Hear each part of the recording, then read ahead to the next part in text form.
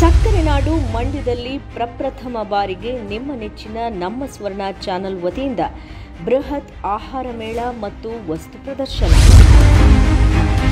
ಆಹಾರ ಮೇಳದ ಆಯೋಜನೆಯ ಸ್ಥಳ, ಸರ್ಕಾರಿ ಪದವಿ ಪೂರ್ವ ಕಾಲೇಜು, ಕಲ್ಲು ಕಟ್ಟಡದ ಆವರಣದ ಮೈದಾನ. ದಿನಾಂಕ ಮೇ ಒಂಬತ್ತರಿಂದ ಹದಿಮೂರನೇ ತಾರೀಕಿನವರೆಗೆ ಐದು ದಿನಗಳ ಕಾಲ ನಡೆಯಲಿದೆ. ಸೇರಿದಂತೆ ರಾಜ್ಯದ ವಿವಿಧ ಭಾಗಗಳ ತಿಂಡಿ ತಿನಿಸುಗಳ ಸೊಗಸು, ಸಾವಯವ ಪದಾರ್ಥಗಳ ಪ್ರದರ್ಶನ ಮತ್ತು ಮಾರಾಟ, ಸರ್ಕಾರಿ ಯೋಜನೆಗಳ ಬಗ್ಗೆ ನಾಗರಿಕರಿಗೆ ಮಾಹಿತಿ ಮತ್ತು ಜಾಗೃತಿ.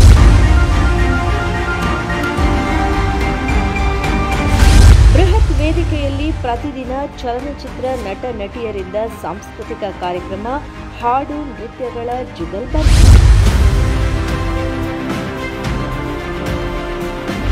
ಮಕ್ಕಳ ಮನರಂಜನೆಗೆ ವೈವಿಧ್ಯಮಯ ಗೇಮ್ ಶೋ ಹಾಗೂ ಆಟಗಳು.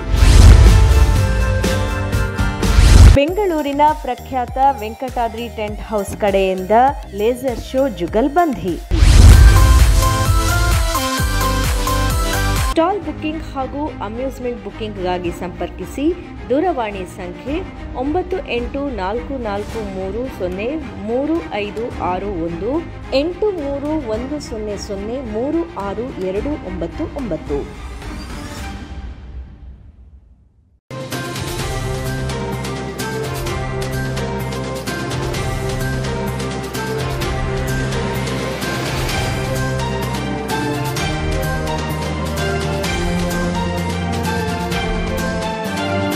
ನಮಸ್ಕಾರ, ಇದು ನಮ್ಮ ಸ್ವರ್ಣ ನ್ಯೂಸ್, ಮೊದಲಿಗೆ ಹೆಡ್ಲೈನ್ಸ್. ತಿನಕುರಳಿಯಲ್ಲಿ ಮೈತ್ರಿ ಅಭ್ಯರ್ಥಿ ಪರ ಬೃಹತ್ ಸಭೆ. ಗೌಡ ಅನ್ನೋದು ಬರೀ ಜಾತಿಯಲ್ಲ, ಗ್ಯಾರಂಟಿ ನಂಬಿ ಮೋಸ ಹೋಗಬೇಡಿ ಎಂದ ದೇವೇಗೌಡ. ಬಸರಾಳಿನಲ್ಲಿ ತಾರಾಭವನ ಲೋಕಾರ್ಪಣೆ, ದಾಂಪತ್ಯ ಜೀವನಕ್ಕೆ ಅಡಿಯಿಟ್ಟ ನವ ಜೋಡಿಗಳು ಮಹಾಲಿಂಗೇಗೌಡರ ಕಾರ್ಯಕ್ಕೆ ಪ್ರಶಂಸೆ. ಮಹಿಳೆಯರ ಕುರಿತು ಅಪಮಾನಕರ ಹೇಳಿಕೆ ಆರೋಪ. ಜೆಡಿಎಸ್ ಕಚೇರಿಯಲ್ಲಿ ಕುಮಾರಸ್ವಾಮಿ ತುರ್ತು ಪತ್ರಿಕಾಗೋಷ್ಠಿ, ಕಾಂಗ್ರೆಸ್ ನಾಯಕರ ವಿರುದ್ಧ ವಾಗ್ದಾಳಿ. ಜಿಲ್ಲೆಯಾದ್ಯಂತ ಅಂಬೇಡ್ಕರ್ ಜಯಂತಿ ಉತ್ಸವ ಮೇಣದ ಬತ್ತಿಯೊಂದಿಗೆ ಮೆರವಣಿಗೆ, ಸಂವಿಧಾನ ಶಿಲ್ಪಿಯ ಗುಣಗಾನ. ಒಕ್ಕಲಿಗ ನಾಯಕ ಹೋರಾಟದ ವಿಚಾರದ ಬಗ್ಗೆ ಪಾಂಡುಪುರ ತಾಲೂಕಿನ ಚಿನುಕೂರಲ್ಲಿ ನಡೆದ ಪ್ರಚಾರ ಸಭೆಯಲ್ಲಿ ಉಪಮುಖ್ಯಮಂತ್ರಿ ಡಿಕೆ ಶಿವಕುಮಾರ್ ಹಾಗೂ ಕೃಷಿ ಸಚಿವ ಎನ್. ಚೆಲುವರಾಯಸ್ವಾಮಿ ಅವರಿಗೆ ಚುನಾವಣೆ ನಂತರ ಚರ್ಚೆಗೆ ಆಗಮಿಸುವಂತೆ ಮಾಜಿ ಪ್ರಧಾನಿ ಎಚ್. ಡಿ. ದೇವೇಗೌಡ ಪಂತ ಆಹ್ವಾನ ನೀಡಿದ್ದಾರೆ. ಚಿನಕುರಳಿಯಲ್ಲಿ ಮಾಜಿ ಸಂಸದರು ಸಿ. ಎಸ್. ಪುಟ್ಟರಾಜು ಮಾಜಿ ಶಾಸಕರಾದಂಥ ಸಿ. ಎಸ್. ಪುಟ್ಟರಾಜ್ ಅವರ ನೇತೃತ್ವದಲ್ಲಿ ಚಿನಕುರಳಿಯಲ್ಲಿ ಒಂದು ಬಹಿರಂಗ ಸಭೆ ನಡೆಯಿತು. ಸಾವಿರಾರು ಸಂಖ್ಯೆಯಲ್ಲಿ ಕಾರ್ಯಕರ್ತರು ಪಾಲ್ಗೊಂಡಿದ್ದರು. ಸುಮಾರು ಒಂದು ಗಂಟೆಗೆ ಹೆಚ್ಚು ಕಾಲ ದೇವೇಗೌಡರು ಒಂದು ರೀತಿ ಚಾರ್ಜ್ ಮಾಡಿದ್ದಾರೆ ಅಂತಲೇ ಹೇಳ್ಬೋದು. ಬಹುಶಃ ಮೈಸೂರಿಗೆ, ಅಂದರೆ ನರೇಂದ್ರ ಸ್ವಾಮಿಯವರ ಕಾರ್ಯಕ್ರಮಕ್ಕೆ ಹೋಗುವ ಮುನ್ನ ನಡೆದಂಥ ಕಾರ್ಯಕ್ರಮ ಇದು. ಸೊ ನೇರವಾಗಿ ಪರೋಕ್ಷವಾಗಿ ಒಟ್ಟಾರೆ ಭಾಷಣವನ್ನು ಗಮನಿಸಿದರೆ ಸಚಿವ ಚೆಲುವರಾಯ ಸ್ವಾಮಿ ವಿರುದ್ಧವೂ ಕೂಡ ಅವರು ಪರೋಕ್ಷವಾಗಿ ಒಂದು ಚಾರ್ಜ್ ಮಾಡಿದ್ದಾರೆ. ಜೊತೆಗೆ ಚುನಾವಣೆ ನಂತರ ಚರ್ಚೆಗೆ ಬನ್ನಿ ಅನ್ನುವಂಥ ಪಂಥ ಆಹ್ವಾನವನ್ನು ಕೂಡ ದೇವೇಗೌಡರು ನೀಡಿದ್ದಾರೆ. ಮಂಡ್ಯ ಜಿಲ್ಲೆ ಮೇಲುಕೋಟೆ ವಿಧಾನಸಭಾ ಕ್ಷೇತ್ರದಲ್ಲಿ ಮಾಜಿ ಪ್ರಧಾನಿ ಎಚ್ ಡಿ ದೇವೇಗೌಡರು ಬಿರುಸಿನ ಪ್ರಚಾರ ನಡೆಸಿದರು. ಮಾಜಿ ಸಂಸದರು, ಮಾಜಿ ಸಚಿವರಾದ ಸಿ ಎಸ್ ಪುಟ್ಟರಾಜ್ರವರ ಘನ ಅಧ್ಯಕ್ಷತೆಯಲ್ಲಿ ನಡೆದ ವಿಶೇಷ ಪ್ರಚಾರ ಸಭೆಯಲ್ಲಿ ಮಾತನಾಡಿದ ದೇವೇಗೌಡರು ಸುದೀರ್ಘವಾಗಿ ತಮ್ಮ ಭಾವನೆಗಳನ್ನು ಹಂಚಿಕೊಂಡರು. ಆರಂಭದಲ್ಲಿ ಕುಳಿತು ಮಾತನಾಡಲು ಕಾರ್ಯಕರ್ತರಲ್ಲಿ ಅನುಮತಿ ಕೇಳಿದ ದೇವೇಗೌಡರು, ನನಗೆ ವಯಸ್ಸಾಗಿದೆ, ಕಾಲು ನೋವಿದೆ, ಹೀಗಾಗಿ ಕುಳಿತೆ ಮಾತನಾಡುತ್ತೇನೆ, ಯಾರು ಬೇಜಾರು ಮಾಡಿಕೊಳ್ಳಬೇಡಿ ಅಂತ ಹೇಳಿದರು. ನಾನು ಎಷ್ಟು ವರ್ಷ ಬದುಕಿರ್ತೀನಿ ಅಂತ ಗೊತ್ತಿಲ್ಲ, ಮೂರು ವರ್ಷದಿಂದ ಕಠಿಣ ಕಾಯಿಲೆ ನನಗೆ ಕಾಡ್ತಾ ಇದೆ, ಕಿಡ್ನಿ ಫೇಲ್ಯೂರ್ ಆಗಿದೆ, ಶುಗರ್ ಇದೆ, ಆದರೆ ಇನ್ನೂ ಬದುಕಿದ್ದೇನೆ. ಕಳೆದ ನಾಲ್ಕು ತಿಂಗಳಿಂದ ಈಚೆಗೆ ಬದುಕಿನ ಹೋರಾಟ ಮಾಡ್ತಿದ್ದೀನಿ ಅಂತ ಭಾವುಕರಾಗಿ ನುಡಿದರು. ಆಯ್ಕೆ ಮಾಡಿ ಕಳಿಸಿ ಅಂತ ಹೇಳಿ ಸರ್ವರಲ್ಲಿಯೂ ನಮಸ್ಕಾರ ಮಾಡುತ್ತೇನೆ. ಕಾವೇರಿ ಬಗ್ಗೆ ಶಕ್ತಿ ಮೀರಿ ಭಗವಂತ ಎಷ್ಟು ಆಯುಷ್ ಕೊಟ್ಟಿದ್ದಾನೆ ಹೋರಾಟ ಮಾಡಿ ನರೇಂದ್ರ ಮೋದಿಯವರಿಗೆ ಅತ್ಯಂತ ಅಧಿಕವಾದ ಬಲ ತಮಿಳಿನ ಹಂಗಿನಿಂದ ರಾಜ್ಯ ಆಡಲಿಕ್ಕೆ ಆ ಅವಕಾಶ ಆಗಲಿಕ್ಕೆ ನಾವು ಇಪ್ಪತ್ತೆಂಟರಿಂದ ಗೆಲ್ಲಿಸತಕ್ಕಂಥದ್ರಲ್ಲಿ ಒಟ್ಟಾಗಿ ಹೋರಾಟ ಮಾಡೋಣ ಅಂತೇಳಿ ನನ್ನಲ್ಲಿ ಕೈ ಮುಗಿದು ಬಾ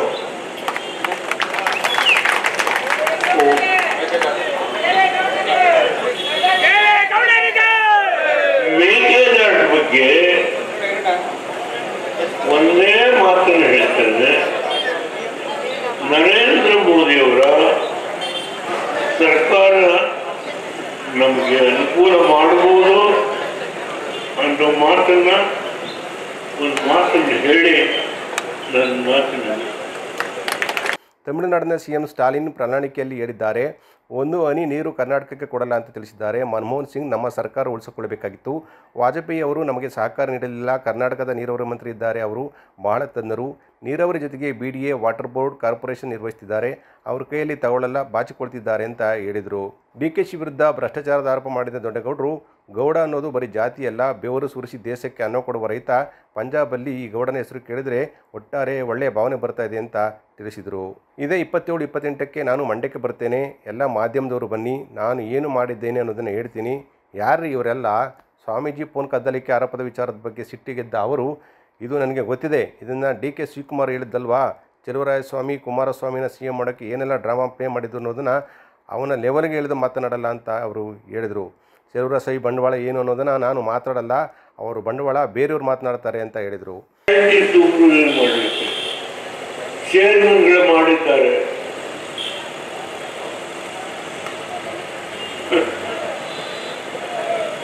ನೂರ ಮೂವತ್ತಾರು ಜನ ಈ ಗ್ಯಾರಂಟಿಯಿಂದ ಬಂದ್ರೆ ತೊಂಬತ್ತೈದು ಜನ ಎಂ ಎಲ್ ಎಗಳನ್ನ ಚೇರ್ಮನ್ ಮಾಡ್ತಾರೆ ಅವರಿಗೆ ಮಂತ್ರಿ ಸ್ಟೇಟಸ್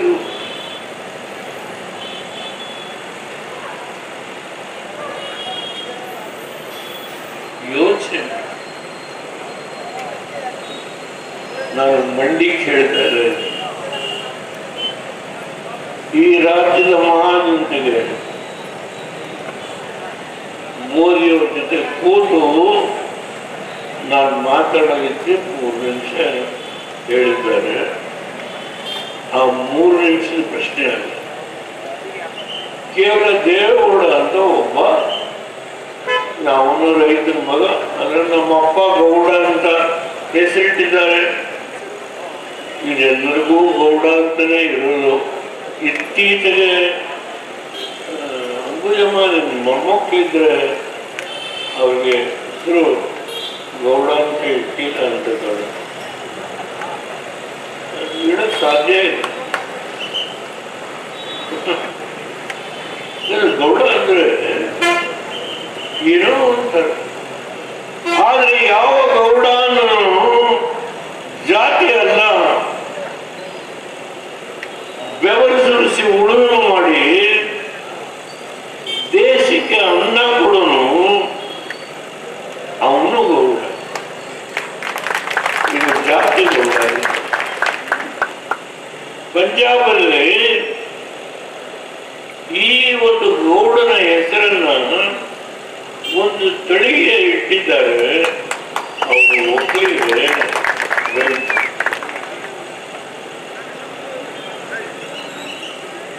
ನಾನು ಮೋದಿಯವ್ರನ್ನ ಅವರ ವಿಶ್ವಾಸ ಹೌದು ಮಾಜಿ ಸಂಸದ ಸಿ ಎಸ್ ಪುಟ್ಟರಾಜು ಮಾತನಾಡಿ, ಈ ಬಾರಿ ಲೋಕಸಭಾ ಮೈತ್ರಿ ಅಭ್ಯರ್ಥಿ ಎಚ್ ಡಿ ಕುಮಾರಸ್ವಾಮಿ ಅವರನ್ನು ಲಕ್ಷಾಂತರ ಮತಗಳ ಅಂತರದಿಂದ ಗೆಲ್ಲಿಸ್ತೇವೆ, ಈ ಬಾರಿಯ ಗೆಲುವು ಖಚಿತ ಅಂತ ಹೇಳಿದರು. ಮಹಿಳೆಯರ ಬಗ್ಗೆ ಅಪಮಾನಕಾರಿಯಾಗಿ ಹೇಳಿಕೆ ನೀಡಿದ್ದಾರೆ ಎಂದು ಆರೋಪಿಸಿರುವ ಬಗ್ಗೆ ಮೈತ್ರಿ ಅಭ್ಯರ್ಥಿ ಮಾಜಿ ಮುಖ್ಯಮಂತ್ರಿ ಎಚ್ ಡಿ ಕುಮಾರಸ್ವಾಮಿ ಅವರು ಕಾಂಗ್ರೆಸ್ನ ನಾಯಕರಿಗೆ ತಿರುಗೇಟು ನೀಡಿದ್ದಾರೆ. ಇವರಿಗೆ ಯಾವುದು ಬೇರೆ ವಿಚಾರ ಸಿಕ್ಕಿಲ್ಲ. ಹಾಗಾಗಿ ಈ ವಿಷಯವನ್ನು ಇಟ್ಕೊಂಡು ಎಳಿತಿದ್ದಾರೆ. ಆದರೆ ನಾನು ಮಹಿಳೆಯರನ್ನು ಅತ್ಯಂತ ಗೌರವಪೂರ್ವಕವಾಗಿ ಕಾಣ್ತೇನೆ ನಾನು ಆ ದಾಟಿಯಲ್ಲಿ ಹೇಳಿಲ್ಲ ಅನ್ನುವಂಥ ಸ್ಪಷ್ಟನೆಯನ್ನು ಅವರು ಕೊಟ್ಟಿದ್ದಾರೆ. ಜೆಡಿಎಸ್ ಕಚೇರಿಯಲ್ಲಿ ತುರ್ತು ಪತ್ರಿಕಾಗೋಷ್ಠಿ ನಡೆಸಿ ಮಾತನಾಡಿದ ಕುಮಾರಸ್ವಾಮಿ ಅವರು, ಹೇಮಮಾಲಿನಿ ಅವರಿಗೆ ಬಿಜೆಪಿ ಟಿಕೆಟ್ ನೀಡಿರುವ ಬಗ್ಗೆ ಕಾಂಗ್ರೆಸ್ಸಿನ ರಣದೀಪ್ ಸಿಂಗ್ ಸುರ್ಜೇವಾಲಾ ಅವರು ಬಿಜೆಪಿಗೆ ಲಿಂಕ್ ಮಾಡಲು ಅವರಿಗೆ ಟಿಕೆಟ್ ನೀಡಲಾಗಿದೆ ಎಂದಿದ್ದಾರೆ. ಇದು ಕಾಂಗ್ರೆಸ್ಸಿನ ಸಂಸ್ಕೃತಿಯನ್ನು ತೋರಿಸುತ್ತದೆ ಎಂದು ವಾಗ್ದಾಳಿ ನಡೆಸಿದರು. ಮಹಿಳೆಯರಿಗೆ ಎರಡು ಸಾವಿರ ರೂಪಾಯಿ ನೀಡುತ್ತಿರುವ ಬಗ್ಗೆ ನಿಮ್ಮ ಯಜಮಾನರ ಜೇಬಿಗೆ ಕತ್ತರಿ ಹಾಕಿ ಹಣ ನೀಡುತ್ತಿದ್ದಾರೆ. ಈ ಬಗ್ಗೆ ಎಚ್ಚರದಿಂದಿರಿ ಎಂದು ಹೇಳಿದ್ದೇನೆ. ಆದರೆ ಈ ಬಗ್ಗೆ ಅಪಪ್ರಚಾರ ಮಾಡಲಾಗುತ್ತಿದೆ ಎಂದು ಆಕ್ರೋಶ ವ್ಯಕ್ತಪಡಿಸಿದರು. ಇದು ನಾನು ನಾಡಿನ ಜನತೆಗೆ, ಹೆಣ್ಣು ಮಕ್ಕಳಿಗೆ, ತಾಯಂದ್ರಿಗೆ ಈ ಎರಡು ಸಾವಿರ ರೂಪಾಯಿನ ಇವತ್ತೇನು ಕೊಡ್ತಾರೆ? ಇದಕ್ಕೆ ನಿಮ್ಮ ಕುಟುಂಬದ ದುಡಿಮೆ ಮಾಡ್ತಕ್ಕಂಥವ್ರಿಂದ ಐದು ಸಾವಿರ, ಆರು ಸಾವಿರ ಪಿಕ್ ಪ್ಯಾಕೆಟ್ ಮಾಡ್ತಾ ಇದ್ದಾರೆ. ನಿಮ್ಮ ಜೋಬ್ನಿಂದ ನಿಮ್ಮ ಕುಟುಂಬದ ಯಜಮಾನರ ಜೋಬ್ನಿಂದ. ಇದಕ್ಕೆ ಎಚ್ಚೆತ್ಕೊಳ್ಳಿಕ್ಕೆ ಈ ಎರಡು ಸಾವಿರ ರೂಪಾಯಿ ಕೊಡ್ತಕ್ಕಂಥದ್ದಕ್ಕೆ ದಾರಿ ತಪ್ಪಬೇಡಿ ಅಂತಕ್ಕಂಥದ್ದು ಹೇಳಿದ್ದೇನೆ. ಅದಕ್ಕೆ ಮರಳಾಗಬೇಡಿ ಅಂತ ಹೇಳಿದ್ದೇನೆ.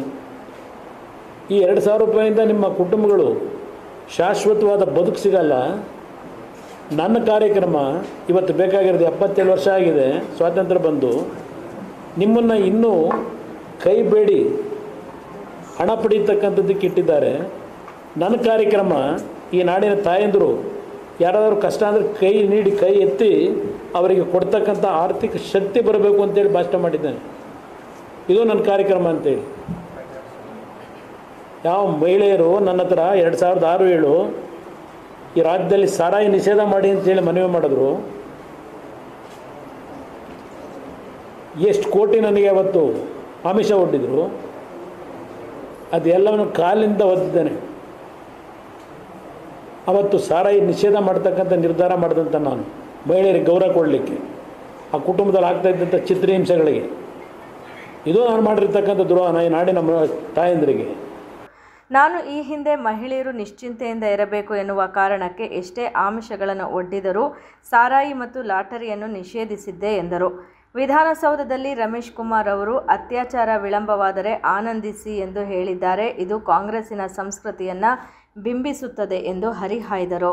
ನಾನು ಹೇಳಿದೆ, ಅವೆಲ್ಲ ಮಾಡಕ್ಕೆ ಹೋಗ್ಬೇಡಿ ಎಂದು. ಕೆದಕಿದ್ದವನೇ ಅಲ್ಲಿ ಎಂ ಎಲ್ ಎ ಗಂಡಸ್ತನದ ಬಗ್ಗೆ. ಆ ಪದ ಬಳಸಿರ್ತಕ್ಕಂಥ ಎಂ ಎಲ್ ಎ ಏನಪ್ಪ? ಗೌರವ ಕೊಟ್ಟು ಶಾಲೆ ಹಾಕಿದಿರಿ ಅಲ್ವಾ? ಆ ಪದ ಬಳಕೆ ಮಾಡಿದ್ದಕ್ಕೆ ಇನ್ನೊಂದು ಕುಟುಂಬದ ಹೆಣ್ಮಕ್ಳ ಬಗ್ಗೆ ಶಾರೋದಿಸಿರ್ಬೇಕು ಸನ್ಮಾನ ಮಾಡಿ. ಮೈಸೂರು ಪೇಟೆ ಹಾಕಿ. ನಿಮ್ಮ ಹೇಳಿಕೆಗಳು, ನೀವು ಸಾರ್ವಜನಿಕವಾಗಿ ಯಾವ ರೀತಿ ನಡ್ಕೊಂಡಿದ್ದೀರಿ, ಎಷ್ಟು ಕುಟುಂಬಗಳನ್ನು ನಿಮ್ಮ ಆಸ್ತಿಯ ಒಂದು ದುರಾಸೆಗೆ ಏನೇನು ಮಾಡ್ಕೊಂಬಂದಿದ್ದೀರಿ ಮೂವತ್ತು ವರ್ಷದಲ್ಲಿ, ಬೇಕಾದಷ್ಟು ಪ್ರಕರಣಗಳಿದ್ದಾವೆ. ಇವತ್ತು ಇದಿಟ್ಕೊಂಡು ನನ್ನ ಮೇಲೆ ಎದುರಿಸ್ಲಿಕ್ಕೆ ಸಾಧ್ಯವ ನೀವು? ನಾನು ಈಗಲೂ ಹೇಳ್ತೇನೆ ನಾನು ಅವತ್ತು ಹೇಳಿರ್ತಕ್ಕಂಥದ್ದು, ನಾಡಿನ ಜನತೆಗೆ, ನನ್ನ ತಾಯಂದಿರಿಗೆ ಎಚ್ಚರಿಕೆಯಿಂದ ತೀರ್ಮಾನ ಮಾಡಿ, ನಿಮ್ಮ ಬದುಕನ್ನು ಇವತ್ತು ಹಾಳು ಮಾಡ್ತಾರೆ. ಅಂದರೆ, ಬದುಕನ್ನು ಅಂದರೆ ಬೇರೆ ರೀತಿಯಲ್ಲ ನಾನು ಹೇಳಿದ್ದು. ನಿಮ್ಮ ಕುಟುಂಬಗಳ ಬದುಕಿದೆಯಲ್ಲ, ಸರ್ಕಾರಗಳು ಯಾವ ರೀತಿ ನಡಿಬೇಕು ಅನ್ನೋದು, ನನ್ನ ಪಂಚರತ್ನ ಕಾರ್ಯಕ್ರಮ. ಫ್ರೀ ಸ್ಕೂಲ್ಗಳು ಕಟ್ಟಬೇಕು, ಫ್ರೀ ಆರೋಗ್ಯಕ್ಕೆ ಆಸ್ಪತ್ರೆಗಳು ಕಟ್ಟಬೇಕು. ರೈತರ ಬದುಕನ್ನು ಸರಿಪಡಿಸಬೇಕು ಅಂತಕ್ಕಂಥ ನನ್ನ ಯೋಜನೆ. ಸದೃಢವಾಗಿ ಆರ್ಥಿಕವಾಗಿ ಬೆಳೆಸಬೇಕು ಜನಗಳನ್ನ ಅಂತೇಳಿ. ಎರಡು ಸಾವಿರ ರೂಪಾಯಿ ಕೊಡ್ತಾರೆ ಮಹಿಳೆಯರ ವಿರುದ್ಧ ಲಘುವಾಗಿ ಹೇಳಿಕೆ ನೀಡಿರುವ ಮಾಜಿ ಮುಖ್ಯಮಂತ್ರಿ ಮಂಡ್ಯ ಲೋಕಸಭಾ ಕ್ಷೇತ್ರದ ಮೈತ್ರಿ ಅಭ್ಯರ್ಥಿ ಎಚ್ ಡಿ ಕುಮಾರಸ್ವಾಮಿ ಅವರ ವಿರುದ್ಧ ಮಹಿಳೆಯರು ಮದ್ದೂರಿನಲ್ಲಿ ಬೆಂಗಳೂರು ಮೈಸೂರು ಹೆದ್ದಾರಿ ತಡೆದು ಪ್ರತಿಭಟನೆ ನಡೆಸಿ ತಮ್ಮ ಆಕ್ರೋಶವನ್ನು ವ್ಯಕ್ತಪಡಿಸಿದ್ದಾರೆ. ಮಹಿಳೆಯರ ವಿರುದ್ಧ ಲಘುವಾಗಿ ಹೇಳಿಕೆ ನೀಡಿರುವ ಮಾಜಿ ಮುಖ್ಯಮಂತ್ರಿ ಮಂಡ್ಯ ಲೋಕಸಭಾ ಕ್ಷೇತ್ರದ ಮೈತ್ರಿ ಅಭ್ಯರ್ಥಿ ಎಚ್ ಡಿ ಕುಮಾರಸ್ವಾಮಿ ಅವರ ವಿರುದ್ಧ ಮಹಿಳೆಯರು ಮದ್ದೂರಿನಲ್ಲಿ ಬೆಂಗಳೂರು ಮೈಸೂರು ಹೆದ್ದಾರಿ ತೆರೆದು ಪ್ರತಿಭಟನೆ ನಡೆಸಿದ್ದಾರೆ.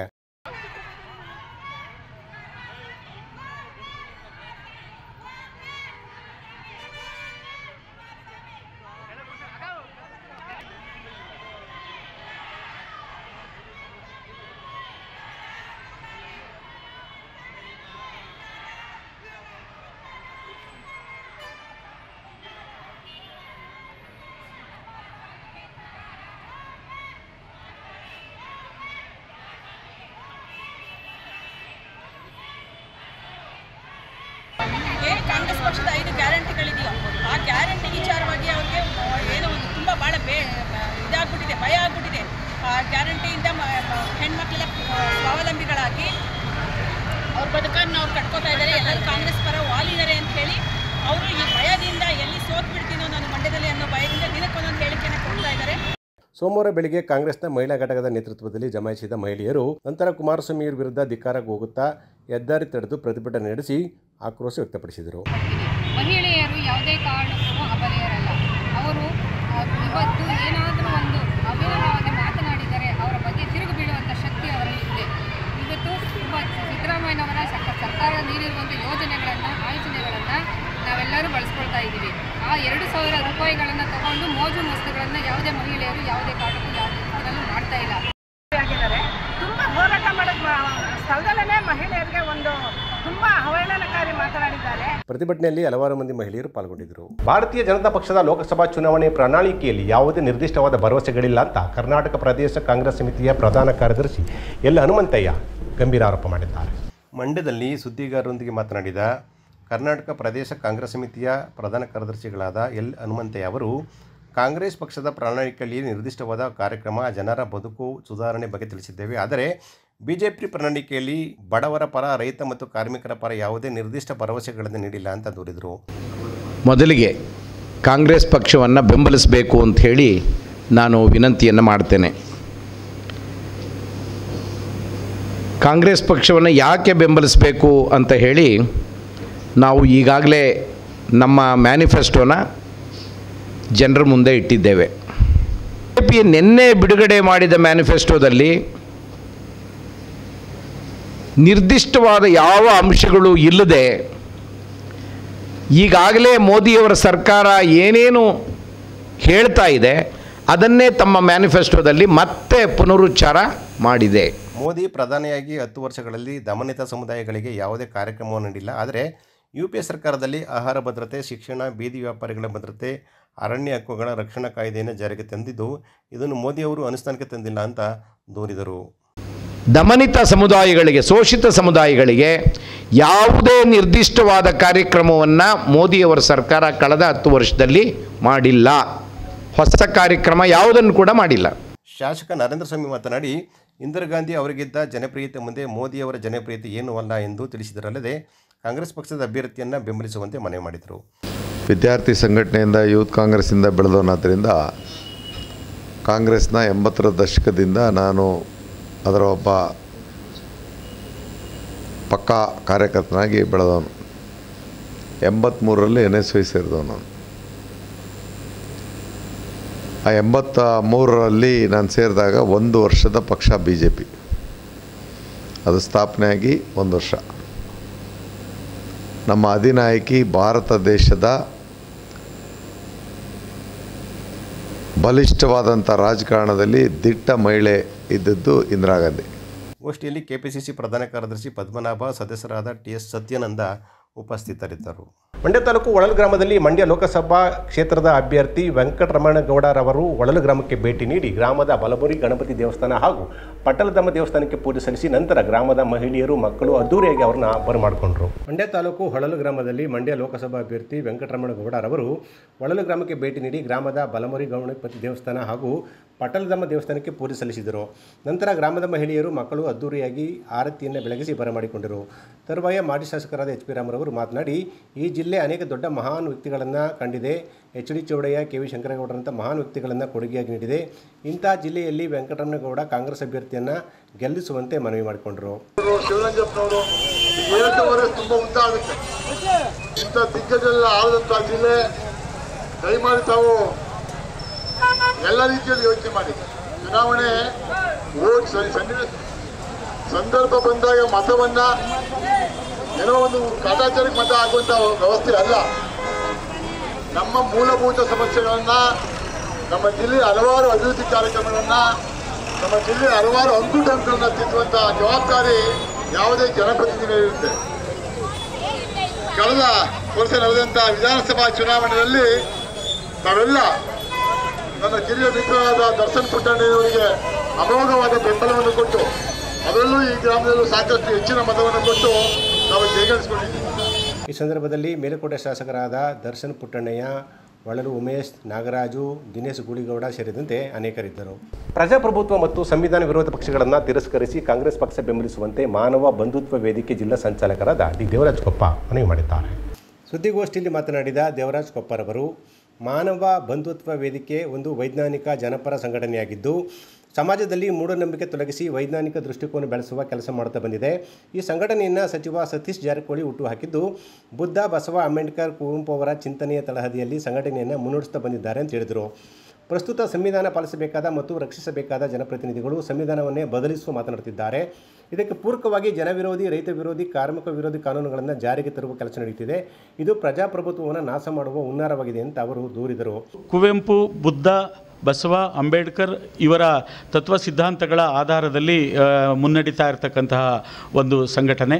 ಈ ಸಂಘಟನೆ ರಾಜಕೀಯೇತರ ಸಂಘಟನೆ ಆದ್ರೂ ಕೂಡ ಅನಿವಾರ್ಯವಾಗಿ ಈ ಸಂದರ್ಭದಲ್ಲಿ ರಾಜಕೀಯದ ವಿಚಾರವನ್ನು ಮಾತಾಡಬೇಕಾದಂತಹ ಪರಿಸ್ಥಿತಿಗೆ ಬಂದಿದೆ.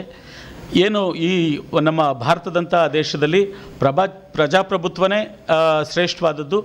ಸಂವಿಧಾನವೇ ನಮ್ಮ ಪ್ರಜಾಪ್ರಭುತ್ವದ ಧರ್ಮಗ್ರಂಥ ಇದ್ದ ಹಾಗೆ ಅನ್ನುವ ಸಂದರ್ಭದಲ್ಲಿ ಸಂವಿಧಾನದ ಅಡಿಯಲ್ಲಿಯೇ ಇಡೀ ರಾಜ್ಯ, ದೇಶ ನಡೀತಾ ಇರುವಂತಹ ಸಂದರ್ಭದಲ್ಲಿ ಈ ಸಂವಿಧಾನವನ್ನೇ ಬದಲಾಯಿಸ್ತೀನಿ ಅಂತಕ್ಕಂಥ ಮಾತು ಏನು ಕೇಳಿ ಬರ್ತಾ ಇದೆ. ಆ ಕಾರಣದಿಂದಾಗಿಯೇ ನಾವು ಈಗ ರಾಜಕೀಯವಾಗಿ ಮಾತಾಡಬೇಕಾದಂತಹ ಪರಿಸ್ಥಿತಿ ಬಂದಿದೆ. ಸೊ, ಹಾಗಾಗಿ ನಾವು ಮತದಾರರಲ್ಲಿ ಕೇಳ್ಕೊಳ್ಳೋದೇನೆಂದರೆ ಪದೇ ಪದೇ ಕೆಲವು ಸಚಿವರುಗಳು ಕೇಂದ್ರ ಸಚಿವರಾಗಿರ್ಬೋದು, ರಾಜ್ಯದ ಸಚಿವರುಗಳಾಗಿರ್ಬೋದು, ಕೆಲವರು ಬಿ ಜೆ ಪಿಯ ಮುಖಂಡರುಗಳಾಗಿರ್ಬೋದು. ಸಂವಿಧಾನ ಬದಲಾಯಿಸ್ತೀವಿ.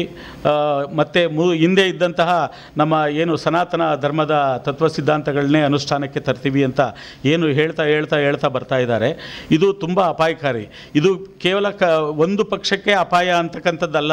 ಇಡೀ ದೇಶದ ಎಲ್ಲ ಜನರ, ಎಲ್ಲ ಪಕ್ಷಗಳ ಸರ್ವರ ಅವನತಿಗೆ ಕಾರಣ ಆಗುತ್ತೆ ಸಂವಿಧಾನವನ್ನು ಬದಲಾಯಿಸ್ತಕ್ಕಂಥ ಮಾತನ್ನು ಹಾಡ್ತಕ್ಕಂಥದ್ದು. ಗೋಷ್ಠಿಯಲ್ಲಿ ಅನಿಯಂಬಾಡಿ ಶೇಖರ್, ಲೋಕೇಶ್, ಮರಿಸ್ವಾಮಿ, ಬಸವರಾಜು, ರವಿ ಉಪಸ್ಥಿತರಿದ್ದರು. ನೂರ ಮೂವತ್ಮೂರನೇ Baba Saheb doctor B R Ambedkar ಜಯಂತೋತ್ಸವ ಕಾರ್ಯಕ್ರಮ ಪಾಂಡುಪುರ ತಾಲೂಕಿನ ಕಣಿವೆಕೊಪ್ಪಲು ಗ್ರಾಮದಲ್ಲಿ ನಡೆದಿದೆ. ಪಾಂಡುಪುರ ತಾಲೂಕಿನ ಕಣಿವೆಕೊಪ್ಪಲು ಗ್ರಾಮದಲ್ಲಿ ಬಾಬಾ ಸಾಹೇಬ್ ಅಂಬೇಡ್ಕರ್ ಅವರ ಜಯಂತಿಯನ್ನು ಅರ್ಥಪೂರ್ಣವಾಗಿ ಆಚರಿಸಲಾಯಿತು. ಪರಿಸರ ಪ್ರೇಮಿ ಲವಕುಮಾರ್ ಅವರು ಅಂಬೇಡ್ಕರ್ ಕೇವಲ ಒಂದು ಜನಾಂಗಕ್ಕೆ ಸೀಮಿತವಾಗಿಲ್ಲ, ಈ ವಿಶ್ವಕ್ಕೆ ಮಾದರಿಯಾಗಿದ್ದಾರೆ. ಸಂವಿಧಾನ ರಚಿಸಿದ ಮಹಾಜ್ಞಾನಿಯಾಗಿದ್ದಾರೆ ಅಂತ ಹೇಳಿದರು. ಮಹಾಪುರುಷ ಹಾಕಿಕೊಟ್ಟ ಸಂವಿಧಾನ ಚೌಕಟ್ಟಿಗೆ ನಾವೆಲ್ಲರೂ ಬದುಕು ಕಟ್ಟಿಕೊಳ್ಳಬೇಕು ಅಂತ ಅಭಿಪ್ರಾಯ. ಅಂಬೇಡ್ಕರ್ ಅವರು ಒಂದು ಜಾತಿಗೆ, ಒಂದು ಸಮುದಾಯಕ್ಕೆ ಸೀಮಿತವಾಗಿಲ್ಲ. ಈ ಪ್ರಪಂಚದಲ್ಲೇ, ಇವತ್ತು ರಷ್ಯಾದಲ್ಲೂ ಕೂಡ ಅಂಬೇಡ್ಕರ್ ಜಯಂತಿಯನ್ನು ಮಾಡ್ತಾ ಇರುವಂಥದ್ದು ನಾವು ಬಹುಶಃ ನಮಗೆ ಒಂದು ದೊಡ್ಡ ಹೆಮ್ಮೆ. ರಷ್ಯಾದಲ್ಲೂ, ನಮ್ಮ ದೇಶ ಅಲ್ಲದೆ ಹೊರದೇಶದಲ್ಲೂ ಕೂಡ ಮಾಡ್ತಾ ಇದ್ದಾರೆ. ಅದೇ ರೀತಿ ಅಮೇರಿಕದಲ್ಲೂ ಕೂಡ ಮಾಡ್ತಾ ಇದ್ದಾರೆ. ಮೂವತ್ತಾರು ರಾಜ್ಯಗಳಿದೆ, ಅಲ್ಲೂ ಕೂಡ ಅಂಬೇಡ್ಕರ್ ಅವ್ರನ್ನ ಒಂದು ಪೂಜಿಸುವಂಥ ಒಂದು ಗೌರವಿಸುವಂಥದ್ದನ್ನು ಮಾಡ್ತಾ ಇದ್ದಾರೆ. ಹಾಗೆ ನೀವೆಲ್ಲರೂ ಕೂಡ ಸಂವಿಧಾನದ ಒಂದು ಪೀಠಿಕೆಗಳನ್ನು ಈಗಾಗಲೇ ಸ, ಪ್ರತಿಯೊಂದು ಸರ್ಕಾರಿ ಶಾಲೆಗಳಲ್ಲಿ ಅದನ್ನು ಮಾಡಬೇಕು ಅಂತೇಳಿ ಸರ್ಕಾರವೇ ಒಂದು ಒಂದು ಒಂದು ಗೈಡ್ಲೈನ್ ಕೊಟ್ಟಿದೆ. ಅದರಂತೆ ಸಂವಿಧಾನವನ್ನು ಅವರು ಕೂಡ ಪ್ರತಿದಿನ ಮಕ್ಕಳಲ್ಲಿ ಓದಿಸುವಂಥ ಒಂದು ಪ್ರವೃತ್ತಿಯನ್ನು ಮಾಡ್ತಾ ಇದ್ದಾರೆ. ದಲ್ಲಿ ಕೆ ವಿ ದೇವರಾಜು ಭೀಮಯ್ಯ ಶಂಕರ್ ಜವರಯ್ಯ ಮಂಡೇಶ ಸೇರಿದಂತೆ ಇತರರಿದ್ದರು. ಈ ಬಾರಿಯ ಲೋಕಸಭಾ ಚುನಾವಣೆಯಲ್ಲಿ ಕಾಂಗ್ರೆಸ್ ಅಭ್ಯರ್ಥಿ ವೆಂಕಟರಮಗೌಡ ಅವರನ್ನು ಬೆಂಬಲಿಸುವಂತೆ ಲಿಂಗಾಯತ ಸಮಾಜದ ಮುಖಂಡ ಕೆರಗೋಡು ಗ್ರಾಮ ಪಂಚಾಯಿತಿ ಮಾಜಿ ಅಧ್ಯಕ್ಷ ಶಿವಾನಂದ್ ಮನವಿ ಮಾಡಿದ್ದಾರೆ. ಸುದ್ದಿಗಾರರೊಂದಿಗೆ ಮಾತನಾಡಿದ ಕೆರಗೋಡು ಗ್ರಾಮ ಪಂಚಾಯಿತಿ ಮಾಜಿ ಅಧ್ಯಕ್ಷರಾದ ಶಿವಾನಂದ ಅವರು ರಾಜಕೀಯ ಇತಿಹಾಸವನ್ನು ಅವಲೋಕನ ಮಾಡಿದರೆ ನಮ್ಮ ಸಮುದಾಯದ ನಾಯಕತ್ವವನ್ನು ಮಾಜಿ ಪ್ರಧಾನಿ ಎಚ್ ಡಿ ದೇವೇಗೌಡರ ಕುಟುಂಬ ಅಣಿಯುತ್ತಲೇ ಬಂದಿದೆ. ಬಿ ಯಡಿಯೂರಪ್ಪ ಅವರಿಗೆ ಅಧಿಕಾರವನ್ನು ವಂಚಿಸಿ ವಚನಭ್ರಷ್ಟರಾಗಿದ್ದಾರೆ ಕುಮಾರಸ್ವಾಮಿ ಮುಖ್ಯಮಂತ್ರಿಯಾಗಿದ್ದಾಗ ಉಸಿರುಗಟ್ಟಿಸುವ ವಾತಾವರಣವಿತ್ತು.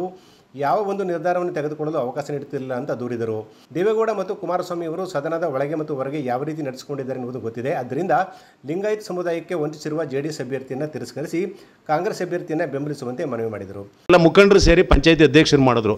ಇದೇ ಕಳೆದ ಬಾರಿ ಸಿದ್ದರಾಮಯ್ಯನವರು ಮುಖ್ಯಮಂತ್ರಿ ಆಗಿದ್ದಾಗ ನಾನೊಂದು ಎರಡು ಮೂರು ಸಾರಿ ಭೇಟಿಯಾದೆ ಅಷ್ಟೇ. ಯಾವುದೋ ಸಂದರ್ಭ ಭೇಟಿಯಾದಾಗ ನನ್ನ ಗುರ್ಸಿ ಇದೇ ಅಂಬರೀಷ್ ಅಣ್ಣಂಗೆ ಹೇಳಿದ್ರೆ, ಈ ಮನುಷ್ಯನ ಜಿಲ್ಲಾ ಪಂಚಾಯತಿ ಕೆ ಡಿ ಪಿ ಮೆಂಬರ್ ಮಾಡು ಅಂದರು. ಅವರೇನೋ ಜಾತಿ ಕುಲ ಕೇಳಲಿಲ್ಲ ಪಾಪ. ಯಾಕೆಂದ್ರೆ ನಮ್ಮ ಜನಾಂಗದವರು ಹಲವಾರು ಸಂದರ್ಭದಲ್ಲಿ ಅಧಿಕಾರ ಉಂಡಿರೋದು ಕಾಂಗ್ರೆಸ್ ಪಕ್ಷದಿಂದನೇ ಹೊರತು ಯಾರು ಬೇಕಾದ್ರೂ ಎಲ್ಲಿ ಬೇಕಾದ್ರೂ ಚಾಲೆಂಜ್ ಮಾಡಲಿ. ಒಂದು ಸಣ್ಣ ಇದೇ ಜೆ ಡಿ ಎಸ್ ಅಂತಾರೆ. ಯಾರು ಒಬ್ಬರಿಗೆ A P M C director ಕೊಟ್ಟಿದ್ದಾರಾ? P A D bank director ಕೊಟ್ಟಿದ್ದಾರಾ? ಒಂದು ಯಾವ್ದಾದ್ರು ಉದಾಹರಣೆ ಕೊಡಲಿ. ವೀರಶೈವರನ್ನ ತುಂಬ ಅಸಡ್ಡಿವಾಗಿ ಕಾಣ್ತಾರೆ. ಹಾಗಾಗಿ ಮಾಧ್ಯಮದ ಮುಖಾಂತರ ನಾನು ಕೈ ಮುಗಿದು ನಮ್ಮ ವೀರಶೈವ ಬಂಧುಗಳಿಗೆ ಹೇಳ್ಕೊತಾ ಇದ್ದೀನಿ. ಮತ್ತು ಸನ್ಮಾನ್ಯ ಯಡಿಯೂರಪ್ಪನವರು, ವಿಜೇಂದ್ರ ಅವ್ರಿಗೆ ಹೇಳ್ತಾ ಇದ್ದೀನಿ. ಈ ಜಿಲ್ಲೆಯ ವೀರಶೈವರನ್ನ ದಯಮಾಡಿ ದಿಕ್ಕೇಡಿಸಿ ಹಾಳು ಮಾಡಬೇಡಿ ನೀವು. ರಾಷ್ಟ್ರೀಯ ಬಸವ ದಳದ ಅಧ್ಯಕ್ಷ ಗುರುಪ್ರಸಾದ್ ಮಾತನಾಡಿ, ಜಿಲ್ಲೆಯಲ್ಲಿ ಎರಡು ಲಕ್ಷಕ್ಕೂ ಹೆಚ್ಚು ಲಿಂಗಾಯತ ಸಮುದಾಯದ ಮತದಾರರಿದ್ದು, ಈ ಬಾರಿ ಕಾಂಗ್ರೆಸ್ ಅಭ್ಯರ್ಥಿಯನ್ನು ಬೆಂಬಲಿಸುವಂತೆ ಕೋರಿದರು.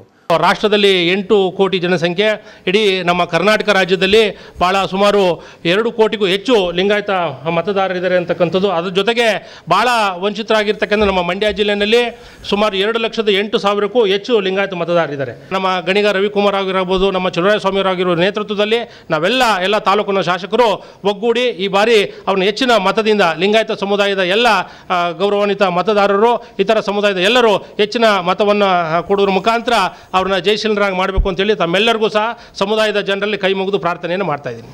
ಗೋಷ್ಠಿಯಲ್ಲಿ ವಿಶ್ವಾಸ್ ಈರಪ್ಪ, ಉಮೇಶ್, ರುದ್ರೇಶ್ ಕುಮಾರಸ್ವಾಮಿ ಉಪಸ್ಥಿತರಿದ್ದರು.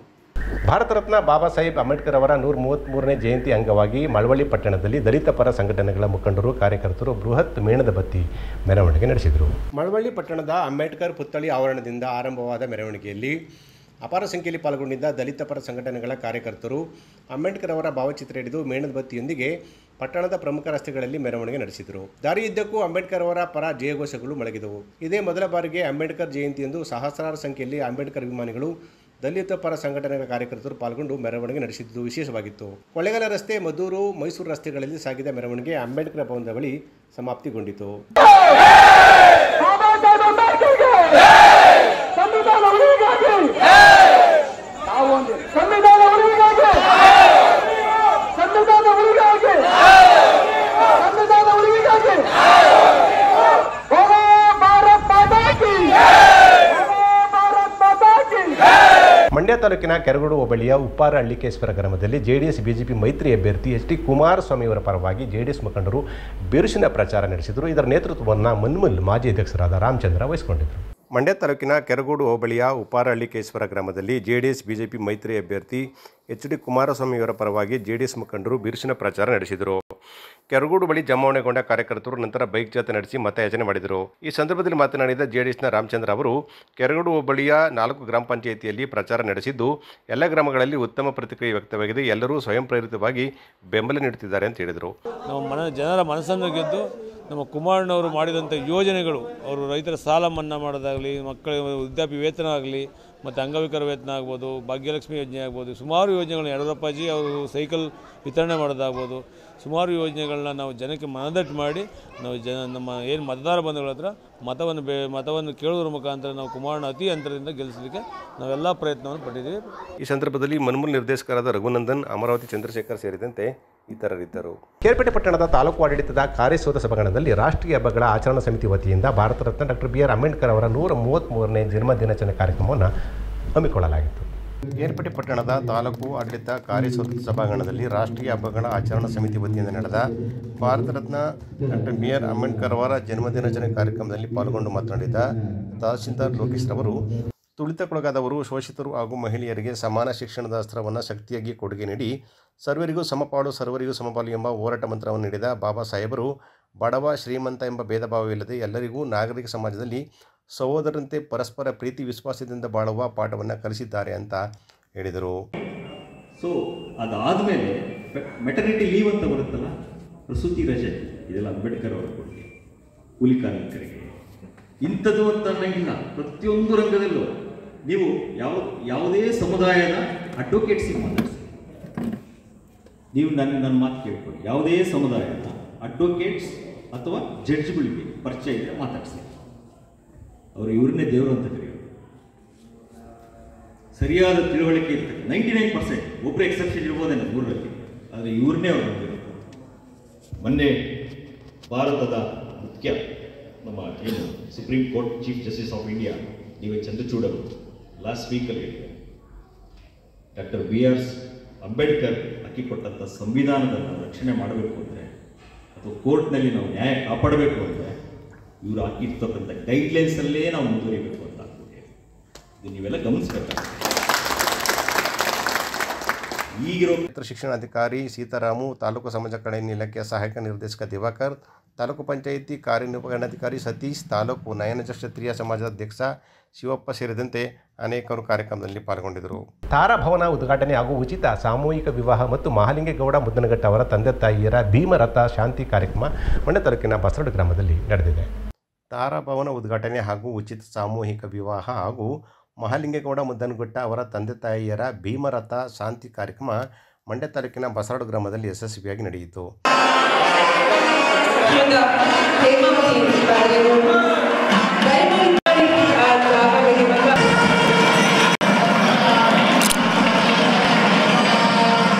ಕೆಂಗೇರಿ ವಿಶ್ವ ಒಕ್ಕಲಿಗರ ಮಠದ ಪೀಠಾಧ್ಯಕ್ಷರಾದ ಶ್ರೀ ಚಂದ್ರಶೇಖರ ಸ್ವಾಮೀಜಿ ಶ್ರೀ ಆದಿಚುಂಚನಗಿರಿ ಕೊಮ್ಮೆರಳ್ಳಿ ಶಾಖಾ ಮಠದ ಪುರುಷೋತ್ತಮನಂದನಾಥ ಸ್ವಾಮೀಜಿ, ದುರ್ದಂಡೇಶ್ವರ ಮಹಾಂತ, ಶಿವಯೋಗಿಗಳ ಮಠದ ಶ್ರೀ ಕ್ಷೇತ್ರದ ಬಿ ಬಿ ಮಠದ ಸ್ವಾಮೀಜಿ ಹಾಗೂ ಇನ್ನಿತರರ ನೇತೃತ್ವದಲ್ಲಿ ಐದು ಮಂದಿ ನವಜೋಡಿಗಳು ದಾಂಪತ್ಯ ಜೀವನಕ್ಕೆ ಕಾಲಿಟ್ಟರು. ಕೆಂಗೇರಿ ವಿಶ್ವ ಒಕ್ಕಲಿಗರ ಮಠದ ಪೀಠಾಧ್ಯಕ್ಷರಾದ ಶ್ರೀ ಚಂದ್ರಶೇಖರ ಸ್ವಾಮೀಜಿ ಮಾತನಾಡಿ, ಈ ಕಾಲಕ್ಕೆ ಸಾಮೂಹಿಕ ಸರಳ ವಿವಾಹ ಅವಶ್ಯಕವಾಗಿದೆ. ಆದರೆ ಒಬ್ಬರು ಮದುವೆಗೆ ಹತ್ತು ಸಾವಿರ ರೂಪಾಯಿ ಖರ್ಚು ಮಾಡಿದರೆ ಇನ್ನೊಬ್ಬರು ಐವತ್ತು ಸಾವಿರ ರೂಪಾಯಿ ವೆಚ್ಚ ಮಾಡುತ್ತಿದ್ದಾರೆ.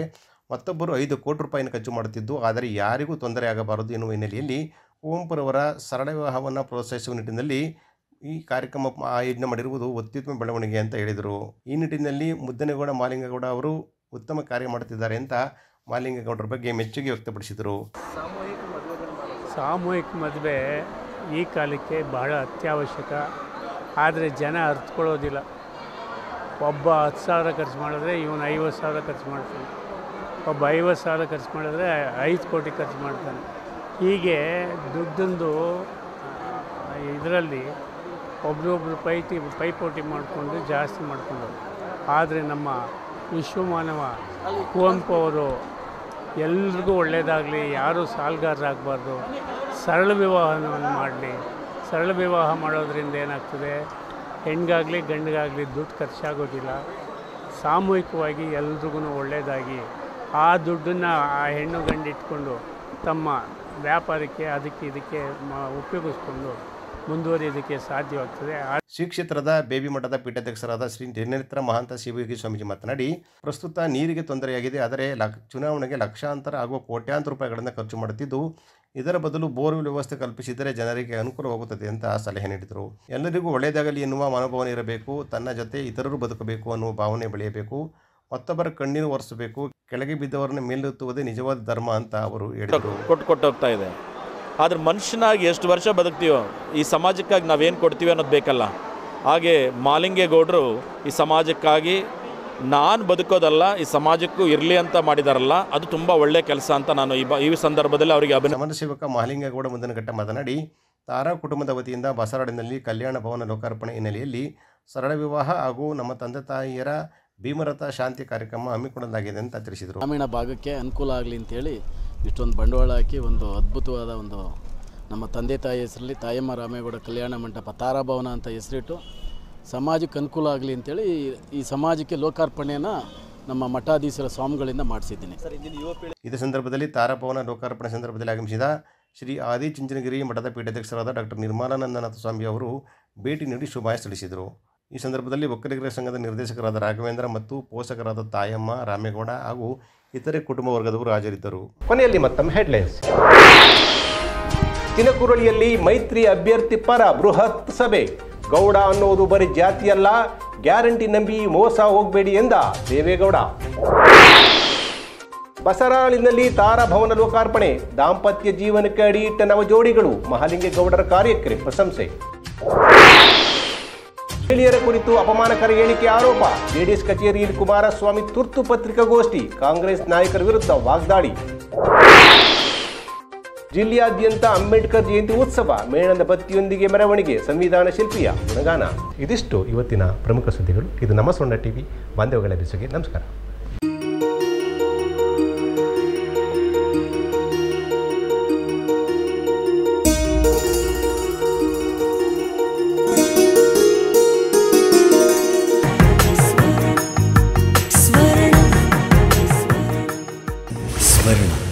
ಇದು ಬಾಂಧವ್ಯಗಳ ಬೆಸುಗೆ.